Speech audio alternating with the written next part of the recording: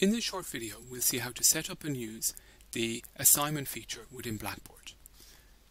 In this Blackboard course, I'm going to start by turning editing on and then go to the assessment section.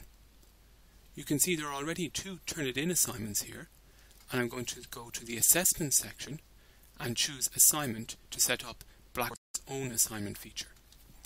I'm going to call it assignment simply and under the instructions you can obviously give the instructions for the students on what they're up to upload, when, etc.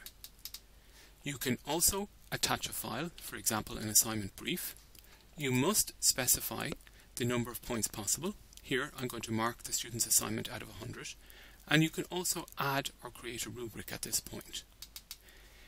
In terms of availability, we want students to be immediately able to upload their assignment and we can choose a start date and a, and a display date on which this assignment will be visible by students. We can choose the number of attempts, usually one single attempt, but you can allow a, a number of attempts if you wish, uh, which means that students can upload multiple times.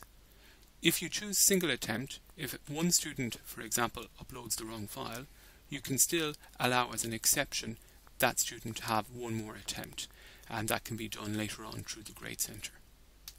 We can track the number of views, we can specify a due date after which students' work will not be accepted, and we can choose whether this is an assignment that will be submitted by students individually, or if you use the group features that you can have groups of students with one submission per group.